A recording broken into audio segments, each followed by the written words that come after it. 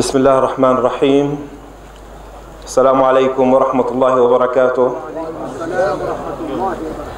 الحمد لله نحمده ونستعينه ونستهديه ونعوذ بالله من شرور أنفسنا وسيئات أعمالنا من يهده الله فهو المهتد ومن يضلل فلن تجد له وليا مرشدا وأعوذ بالله السميع العليم من سيئات أعمالنا وأسأله الله الهداية والثبات والسداد لنا جميعا. سعادة مفتي دار السلام حفظه الله. سعادة وزير زنجبار حفظه الله. سعادة أخي الهادي موسى حفظه الله. الإخوة المشايخ والحاضرين الجميع.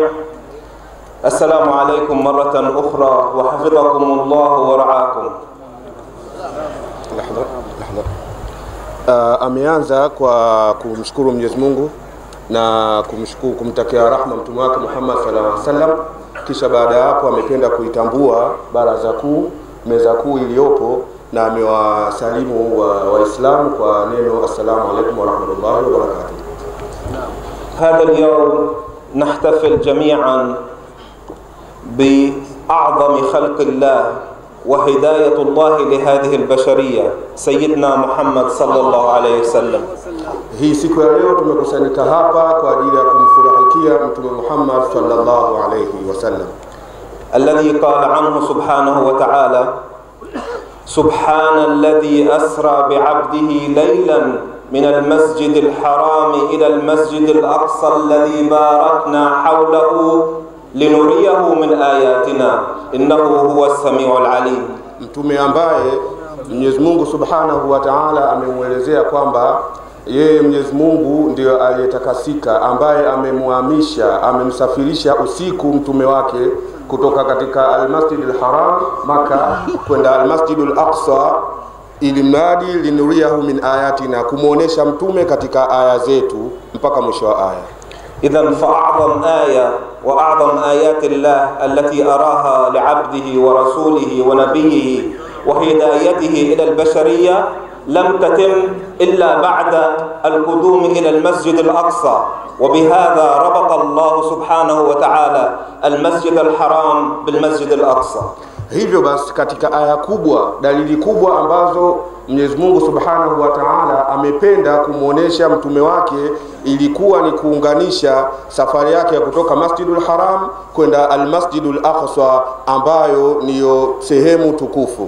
وهذه الآية ستبقى ما دام البشرية موجودة في هذه الحياة هذه الآية لم تكن تخص قريش في ذلك الوقت بل هي رسالة إلى البشرية كلها أن المسجد الأقصى جزء أساسي من عقيدة المسلم Aya hii itabakia duniani miaka yote.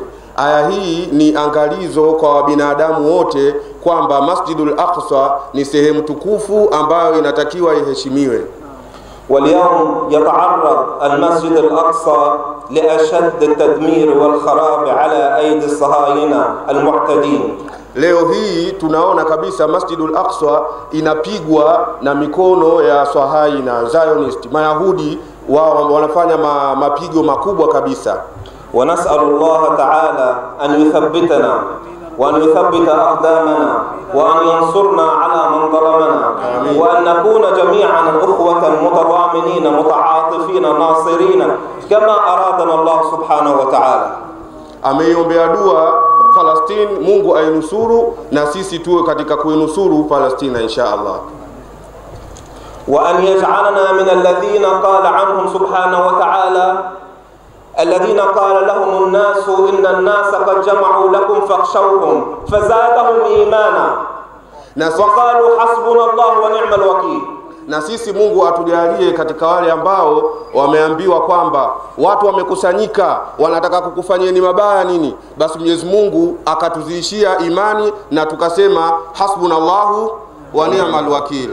So, اسمحوا لي أن وأن تنضموا معي أن أن نقوم بالدعاء جميعا Naomba wote kwa pamoja tuombe dua. بسم الله اللهم انصرنا على من ظلمنا وعلى من عادانا. اللهم ثبت أقدامنا. اللهم سدد خطانا وسدد رمينا وأنر قلوبنا واهدنا فيمن هديت وعافنا فيمن عافيت وتولنا فيمن توليت. وانصر أهل فلسطين. وانصر أهل غزة. وثبتهم. وانصرهم يا رب العالمين. إننا الآن نقف بين أيدي ربنا سبحانه وتعالى وهو السميع العليم وهو القدير العزيز الوكيل وهو على كل شيء قدير. إن لنا إخوة يموتون يوميا. يا رب يا الله يا قادر يا عزيز يا قوي يا عظيم اشفي جرحانا وارحم موتانا وانصرنا على من ظلمنا. والحمد لله رب العالمين. السلام عليكم.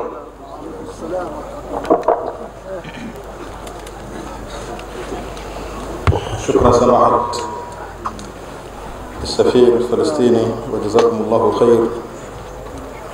والله يرحمكم ويرحمنا جميعا.